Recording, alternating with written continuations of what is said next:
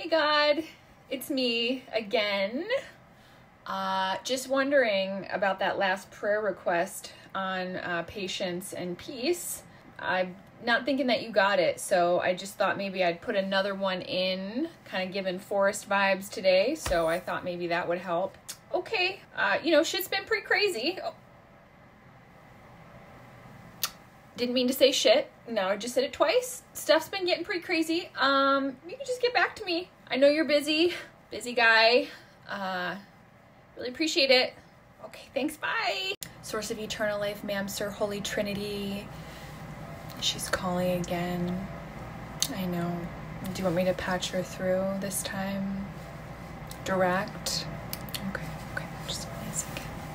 I don't really think that she gets how it works yet, so she's kind of a fresh, a new soul. Just be nice to her, you know. You know, I mean, you're God. Sorry. Hello, my sweet little earth angel. It's me, God. I can see you down there in your forest. God, is that you?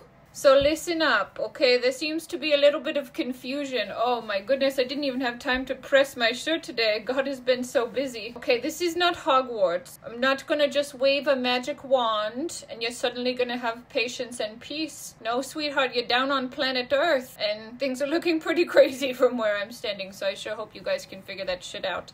What I need you to understand is that when you're asking for these things, what I'm going to give you is opportunities to practice, okay?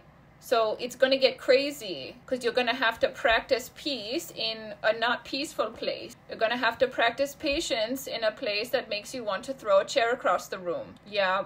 Okay, Charlemagne, kisses. Mwah, mwah, mwah. I believe in you.